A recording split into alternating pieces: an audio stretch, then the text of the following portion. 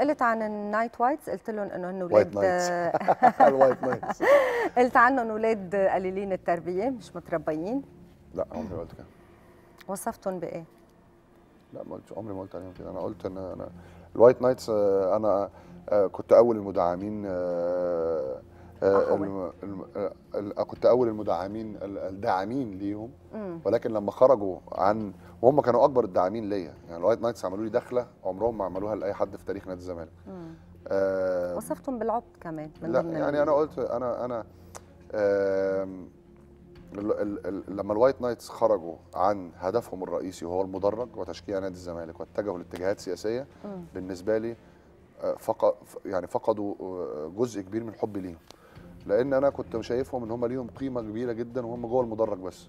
وهم بيدعموا نادي الزمالك وهم بيلفوا ورا نادي الزمالك أفريقيا. وهم بي بي بي بيعشقوا نادي الزمالك بلا مقابل.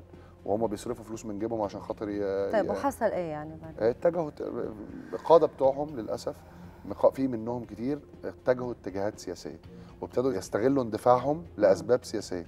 مم. وأنا بالنسبة لي ده بالنسبة لي ده آه، يعني يعني يعني ده ده مش صح.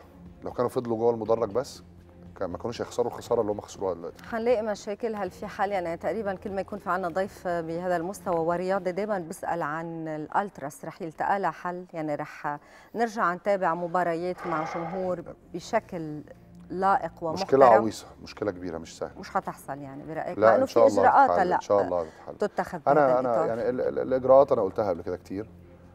لازم يتم يبقى في season tickets.